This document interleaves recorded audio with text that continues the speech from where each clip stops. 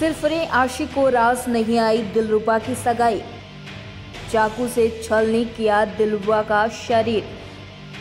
फिर पछतावे में खुद भी की आत्महत्या। तुम मेरी नहीं, कोई बात नहीं, एक तरफा ही सही, तेरी याद में हम आबाद रहेंगे।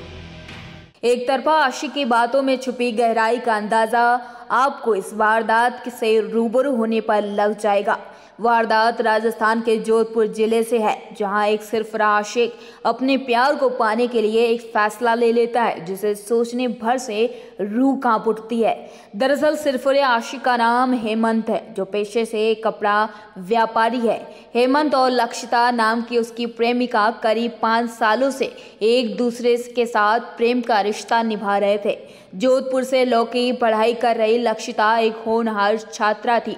बेटी के 25 साल के होने पर घर वाले लक्षिता की सगाई अपनी बिरादरी में तय कर देते हैं। लक्षिता को यह बात अपने प्रेमी हेमंत को बताना एक कठिन काम लगता है, जिस वजह से वो हेमंत से एक शांत जगह पर मिलने की बात कहती है और दोनों जोधपुर के एक होटल में जाने का फैसला लेते हैं।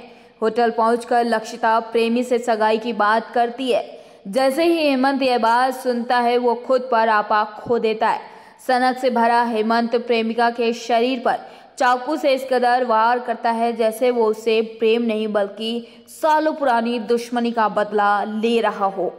एक के बाद एक हेमंत लक्षिता के शरीर पर चाकू से तब तक वार करता है, जब तक वो मौत को गले नहीं लगा लेती है। कुछ समय बाद तब हेमंत का गुस्सा शांत होता है तो उसे अंदाज़ा होता है कि उसने क्या कर दिया। खुद की करतूतों पर हेमंत को इस कदर पछतावा होता है कि वो खुद भी जान देने का तय कर लेता है, और जोधपुर के मंडोर रेलवे स्टेशन पर वो आत्महत्या कर लेता है।